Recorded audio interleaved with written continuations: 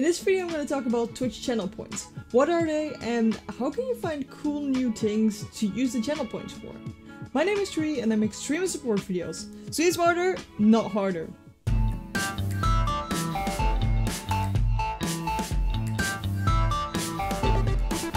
Before we begin, I stream every Tuesday, Friday, Sunday, 8pm Central European Time on twitch.tv slash trui. The last two weeks of May, we will be doing a charity event for St. Jude Play Live. Then I'm gonna do super crazy things like taking a lemon shot, put googly eyes on my face. Maybe Truigi will come back for those who remember it. But besides that, I'm also giving away a stream coach session. So if you want to win private one-on-one -on -one coaching with me, make sure to check out our channel from 19th to 31 of May. So what are channel points? Channel points are points on Twitch that people can earn by watching your stream, by following, and going with you on raids. You can find these underneath the chat if streamers have enabled them. On your own channel you will always have an infinitive amount of channel points, so you can try out anything you set up. So how can people earn these points? You can earn them by watching for 5 minutes, this will give you 10 points. Claim your special bonuses by 50 points. This is actually this little chest coming up next to the channel points right here. If you click on that, you will collect extra points. This will basically tell Twitch that you're still actively watching to the streamer. You get 250 points by participating in raids. Following gives you another 300 points. Monthly first cheer gives you 350 points. This means that if you are the cheer boss right here, you will gain extra points. Then you get another 500 points for being the monthly first gift sub person. you can find that back in the top here as well. So if you're on this number one spot, you will be the one getting 500 points extra. And then you can grow a watch streak and you get up to 450 points. I'm not sure how that works, but apparently if you watch longer and more consistently, you will get more points. And underneath it says here, subscribers get two times multiplier. So for watching for 5 minutes and claim special bonuses, these two things will actually be 10 and 100 points for subscribers. This is an extra incentive for people to subscribe to your channel. So what kind of things can people spend their channel points on? Honestly, this is all up to you. You can make it as crazy as you want. You can send people paintings for channel points, but you can also just do a dap.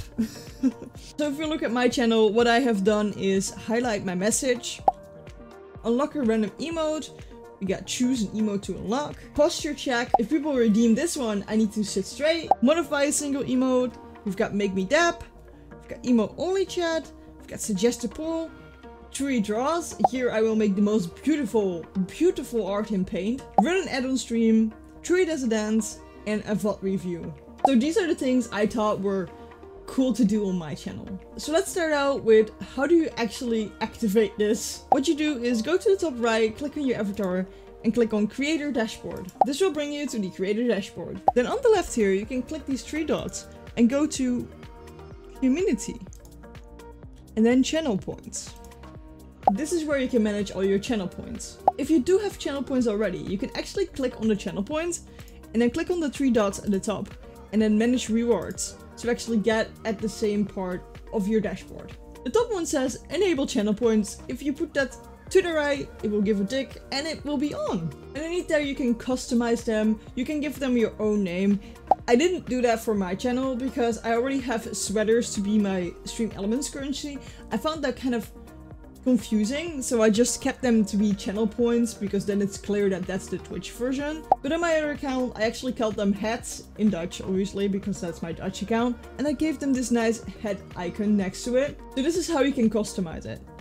Click on here, then you have to upload an image that is 28 by 28 but the same image needs to also be 56 by 56 and you need to have a version that is 112 by 112 pixels. These need to be the same images, it's just a size that matters for Twitch because then they can use it in different formats. So for example, sometimes they need it small and then they use the 28 by 28 pixel image and sometimes they want mediocre, and then they will be using the 56 by 56 one. At the top here we can change the channel pointer's name, we can change it to whatever we want, of course within the TOS. And underneath here you will see like a preview of how it's gonna look like. Let's go back.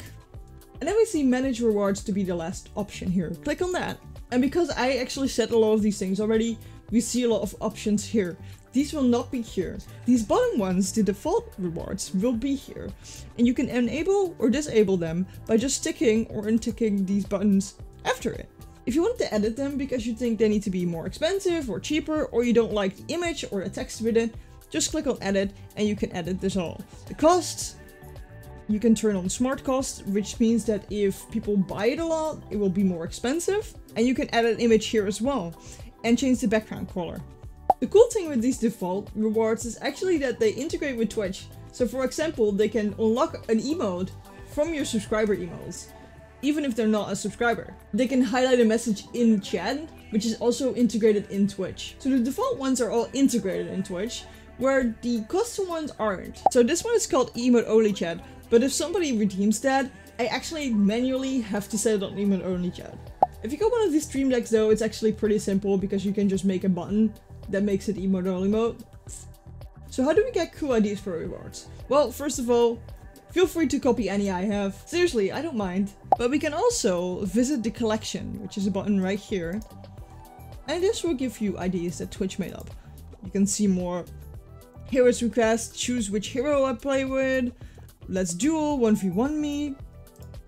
We got the dap here that I used. Give a treat to my pets. We got suggest a poll.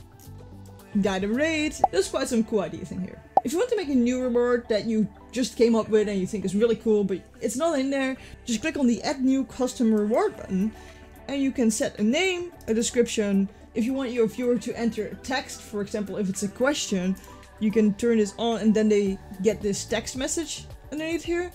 You can set the cost in channel points that it will cost them. And then you can set the image here and the background color. There's also the reward quest queue. If you don't want this to be in the reward quest queue, tick this on and it will not be in there. So how does this queue work? For me, I have something called VOD reviews. If I want to make sure that I don't miss out on anybody who claimed that, I can actually look into my queue. Here at the top right, request queue. So here we can see what people requested. I actually didn't remove anything out of here so you guys can see how it works. So Death here has requested make me dap. I did that on stream, so we can mark it as complete. So did Westwood. If we deny it, if we reject, they will get their channel points back. We can also report them if they had a weird message or something, but let's mark it as complete. And if you mark these as complete, they don't get their channel points back because they spent it on it and you did the thing that you said you would. Make tackle for me, we did that. If you want to see the tackle, it's actually in my art channel in the Discord. Good luck, it's it's beautiful. And a posture check, we did that too. And if you accepted everything or rejected some, the queue will be empty. And if somebody requests something new, it will just pop up in here. And it's super easy to keep track of which things you have and have not done. And if you don't want certain things to be in here, just go edit and then tick this on and then save. And now it won't get in there. There's another thing that might be useful. If you get spammed with one thing a lot, you can raise the price to make sure that they don't spam it as much. But if you don't want to do it, you can also set a maximum limit of uses. So for example, I cannot do 20 VOD reviews per stream. I'm gonna get crazy. So I can set it to max 3. What we do is edit, scroll all the way down, limit redemptions per stream to 3. And save. Now only 3 people can redeem this reward per stream.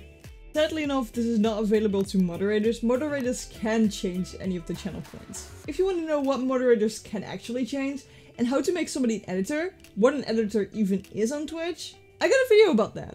I'll see you right there.